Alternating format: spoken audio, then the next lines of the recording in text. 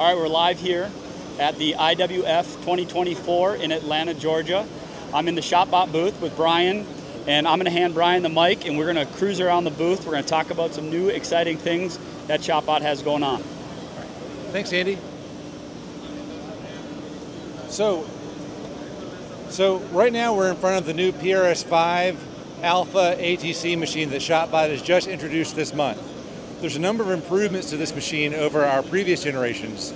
The first and most noticeable is that our table sides are now lowered. They're even with the table deck, so you're going to be able to load material and pull it off from the sides back in front of the machine. We've also reinforced the frame to make it even more rigid to improve the quality of cuts. On this particular machine, we've got the automatic tool change system.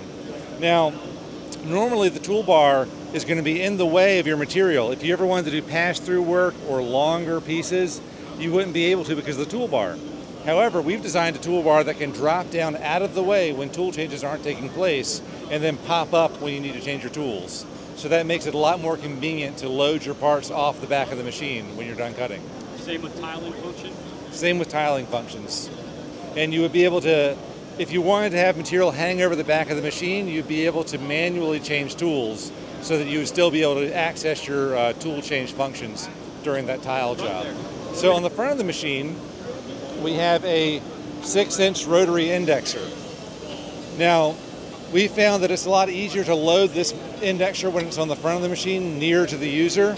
So we just, just got it about six inches in front of the cutting area. So you can still access the full table do 4x4 cutting on this table, but you can then move forward and access the rotary indexer. And here we're just cutting a decorative table leg. We're doing a, a, a roughing pass using this large uh, ball nose bit.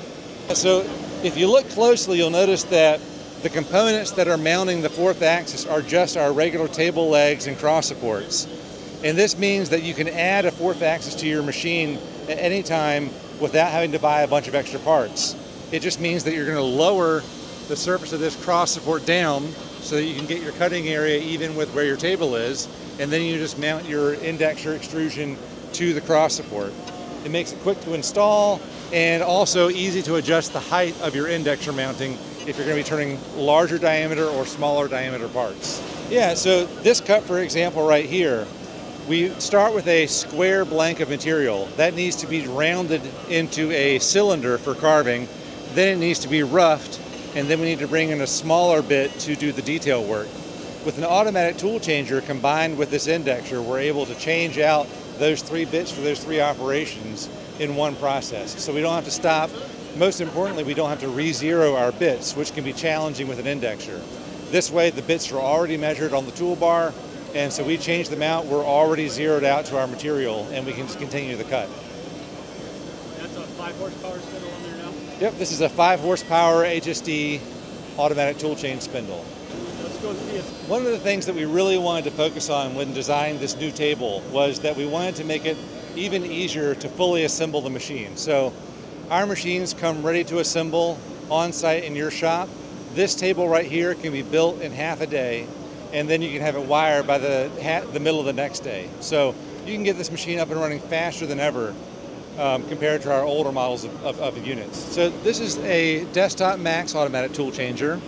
Just like its larger brother over there, it can change tools automatically using a air-powered actuated um, drawbar. The spindle itself is a one horsepower spindle. It's a lot more suited for this size machine, this size material. It can change out any of seven tools and these tools use an ER20 collet, which means that you can use bits up to a half inch shank diameter. Uh, very important for being able to use large table surfacing or milling bits. So we recently released a second version of the Max ATC. Previously, we were limited in our travel on the x-axis, so we had to have the toolbar move in and out of the cutting area during tool changes. We were able to redesign the machine and use a fixed position toolbar.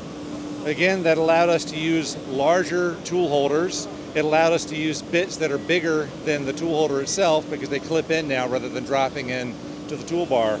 And it allowed us to use a larger number of uh, tool holders and tool positions. So this machine can do seven bits, and they all automatically zero off of this uh, touch-off plate right here.